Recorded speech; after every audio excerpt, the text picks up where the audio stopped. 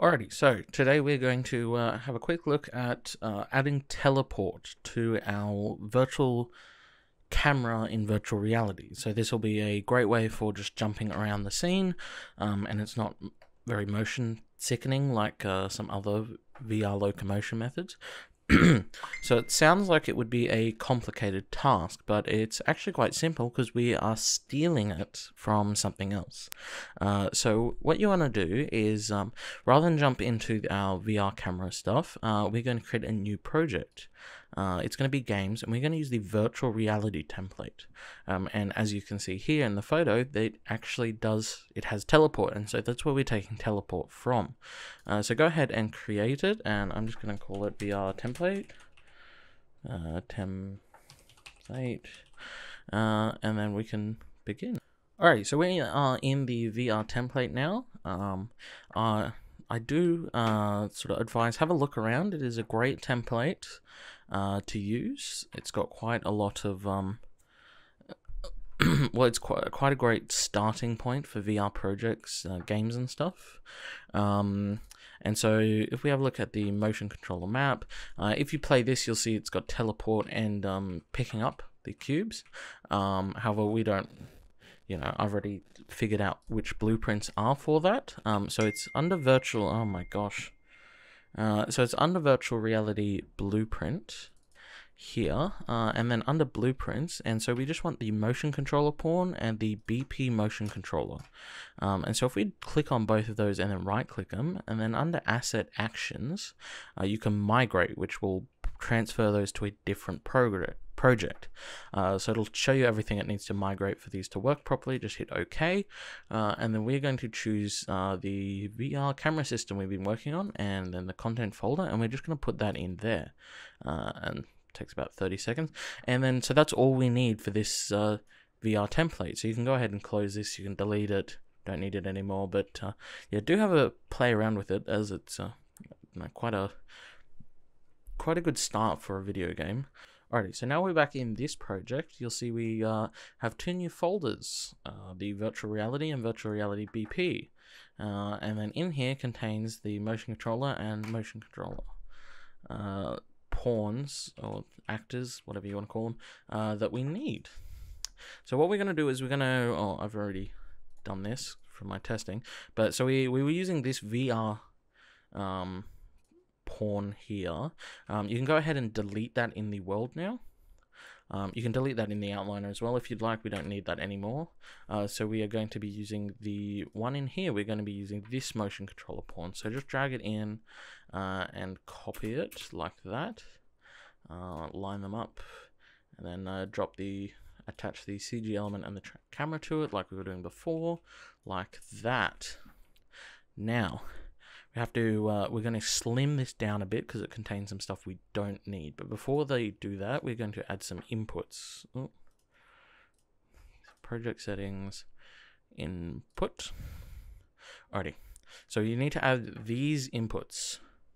Um, you can change the buttons if you'd like. Um, for teleport this setup um, unlike Robo Recall, where you just sort of push the stick and then let go and it'll teleport, um, and requires a push down on a button. Um, so I've just had to push down on the thumbstick. It's quite, it's an easy action, uh, in my opinion. And then we just need under the axes mappings, we need the uh, thumbstick X and thumbstick Y for teleporting. Um, depending on what controller you want to do, it will depend on which ones um, for that you do. Alrighty, so what we need to do next is grab open the motion controller pawn. Um, and so we're going to start by uh, getting rid of a few things. So um, first is the grabbing. We don't need any of that, so just hit delete. Um, next is uh, we can get rid of the left teleport rotation because we also don't need that. Delete and then put the event tick, uh, just connect it up like that. Alrighty. So these uh, we can also get rid of the left teleport because we don't we're just using the right controller. Uh, and so now we need to call our action which we call teleport. Here it is action event. And so I'm going to replace uh, this one it came with with this one like that. Delete And then down here under the teleport rotation, we need to again get our uh, the axes values for the x and y for our teleport that we set up before, and y. Um, x is right, y is y to the sky, like that. Uh, so that's pretty much all the cleaning up in this blueprint uh, we will be doing. So compile and save, you should be able to compile it with no errors. Now, under the motion controller one, so uh, do not you do not drag this motion controller into the world because this uh, blueprint spawns it. See up here, spawn and attach motion controllers. So in this one, uh, we are going to start by removing everything under room scale, um, as we do not need that, and everything under grabbing. Delete and delete. Uh, and then we are going to remove, uh, so we, we don't want to update the, we're actually going to remove the hand, so we don't need to update the animation of it. Um, we also do not need the hand to collide with the environment when we pick things up because we deleted all the picking up stuff. So event tick can just go straight into this teleportation arc. Uh, and then we can get rid of the rumbling here because that is also for grabbing things. And this should compile with an error. Oh, there is, here it is. Uh, so we're calling a function that no longer exists. So we just bypass that as well, like so. And now we can compile and save that without errors. Alrighty, one more thing that I am really didn't do. So on the motion controller pawn, we have to say that it auto possesses the player. Zero. That was why that was happening. Now when I play it, we get, oh, there, ta-da! So this is a great start. We've got the hand tracking just fine. Um, and the teleport button works. Um, we'll get into uh, how teleporting works a bit more in a second. Uh, but now we need our camera to attach to it. So, way we do that is uh, pretty much the way we did it last in the uh, simpler version of this. Uh, so we're going to start by creating a new variable. And we're going to call that our tracked camera.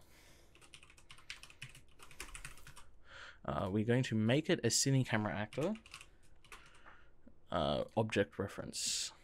And we are going to tick the weird eyeball to make it public. Uh, and so we're going to get that. Uh, we are also going to get the right controller that is already down in here. and then it's simple as, uh, so we want to get relative transform. Uh, well, relative transform. Um, what we get it of it doesn't matter. Um, now, on the right controller, what we're going to do is drag out from it and do a get motion controller like that. And so that'll get the motion controller inside this uh, blueprint, um, which obviously we want to get the relative transform for, and then we want a set relative location and rotation. Again, it doesn't matter what we grab because we're going to delete that. Uh, and then we're going to grab the track camera and we're just going to convert it to its root component, which is fine. Uh, and then we're going to drag off this return value and break it, and then plug the transform and the rotation into this one. Like so. The very last thing we need to do is drag that all the way down to the bottom here. I think it's this one. Yep. Uh, to this event tick, and we're just going to drag it out a bit and plug it into this, and then plug that back into that. That, compile, save. now, uh, the last thing we need to do is go into our motion controller pawn and set the tracked camera for our public variable. Now, if we play it, we should get the camera tracked. Critical error is low. That is okay. And voila, and then we have teleport. And then the controller's battery is low. Um, that's interesting how it's frozen like that. But as you saw for a split second, it is working.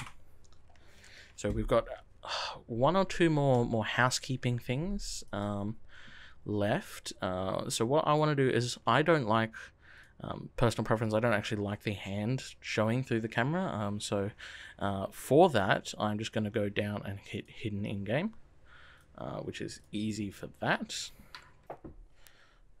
Alrighty, so the last thing we're going to look at is how the uh, teleportation works. Uh, so the teleportation in Unreal uses uh, its navigation system, which is sort of a universal system for things like AI and what have you um, in Unreal, um, and it uses this to see if where you're pointing the teleport ring, if that is a valid teleportation distance uh, uh, location. Um, and so the way we can visualize that is under the show, and it's just down here under navigation. I actually already have it turned on. Um, so when you turn it on, you'll probably see nothing.